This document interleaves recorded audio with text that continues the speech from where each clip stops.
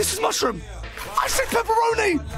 Rainy day takeaway. Hello, I Press just one ordered for a- kebab, Uh, two for uh, pizza, oh, three for fried chicken. Uh, Hey, excuse me. Wait, wait. Oi, Doble, come back! Flipping hate bad service. Why can't my takeaway be more like First Direct?